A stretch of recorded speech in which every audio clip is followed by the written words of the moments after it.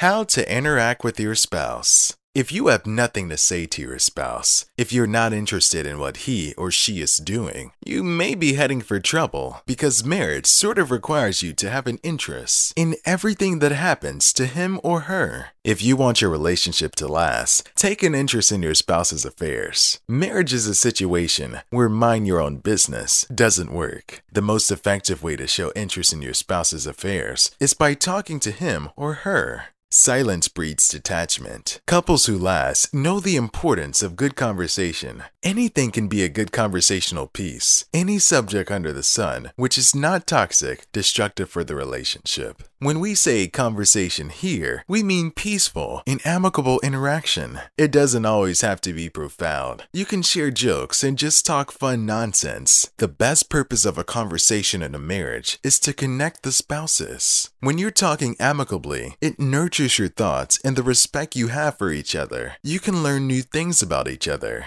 You can sort out your issues and problems. At a loss for words or topics? Sometimes, especially if you're in a situation where you no longer know your spouse, you have to constituously find ways to get the two of you talking. Here are some samples of conversation starters. Comment on your spouse's hobbies or hobby. Comment on your spouse's favorites, be it a favorite athlete, pet food, shoe brand, etc. Recall something from your childhood. Tell your spouse about a new movie or one you saw 10 years ago. Tell your spouse about the lecture your boss gave this morning. Talk about how bland or sweet the coffee is. Ask your spouse if he or she thinks the walls need repainting.